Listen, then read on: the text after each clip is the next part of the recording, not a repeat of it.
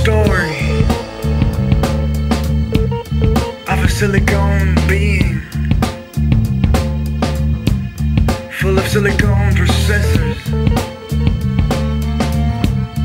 with a mind of its own.